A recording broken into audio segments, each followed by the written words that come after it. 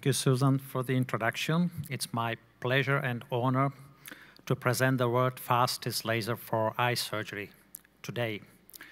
Here are the technologies uh, which changed our laser cataract surgery over the recent years.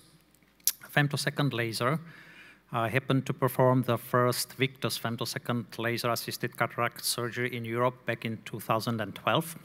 And it was not really easy that time because femtosecond laser really slowed us down at the beginning. But we fine-tuned all the details, and today we are faster than ever.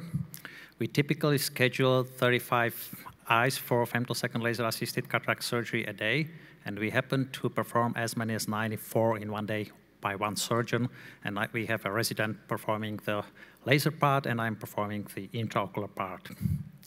Then we took the challenge to develop capsule laser with a Californian startup company with David Mordaunt.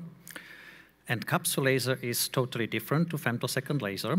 Unlike femtosecond lasers, it's compact, cost-effective. It, it's mounted underneath of your operating microscope, and it does not affect uh, the patient, usual patient flow during the cataract surgery. The original capsule laser uh, performed capsule, capsulotomy in uh, three seconds.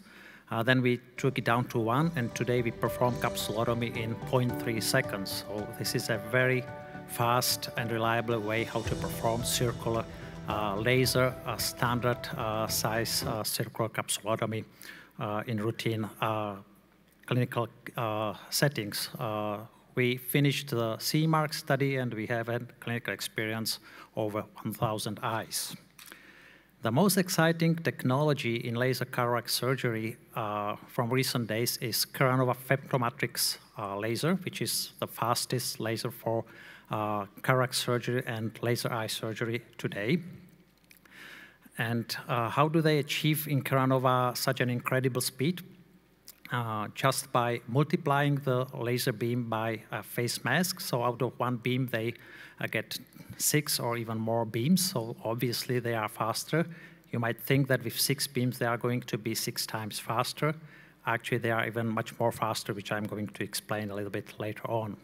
So this is a dynamic phase uh, mask, which uh, multiplies the laser beam, and then you get uh, typically uh, six beams which cut faster, and this laser is capable to fragment the human lens into 20,000 small cubes in less than 20 seconds, which is an incredible speed. So let's have a look at the world first uh, human lens fragmented uh, by this uh, laser at our clinic, and we have a video demonstrating this surgery for you. So first is an animation, how robotic uh, arm is going to initiate uh, the surgery and then the laser beam has been multiplied by this dynamic phase mask.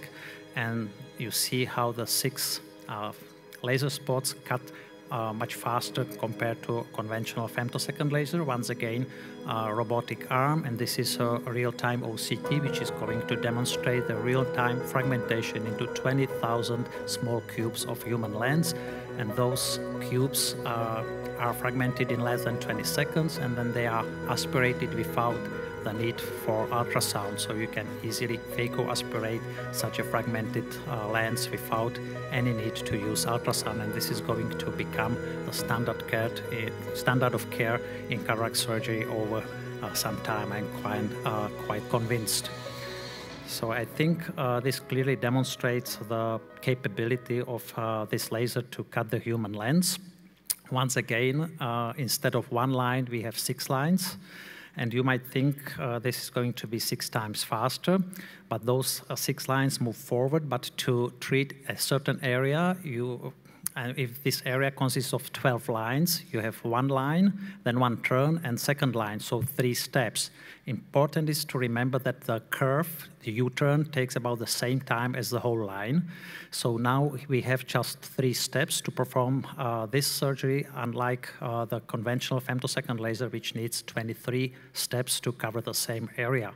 So typically, uh, the femtomatrix laser is uh, up to 20 times faster uh, than uh, the conventional femtosecond laser from 6 up to 20 times. So here are some clinical data uh, from our first surgeries, corrected distance visual acuity, and we have the refraction, uh, also the uh, keratometry, which was not really changed, and in terms of safety endothelial uh, density, which didn't change, and the IOP and other other measures. So femtosecond laser uh, cataract surgery, uh, I think it's a very promising way, which uh, has a great future in uh, in the cataract surgery and some other application. The CE mark is being initiated in Europe and uh, what are the applications of this technology, which is up to 20 times faster. So obviously it's cataract surgery, incisions, capsulotomy and fragmentation, also refractive surgery.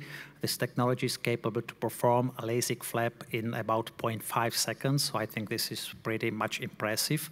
And also the corneal surgery, keratoplasty.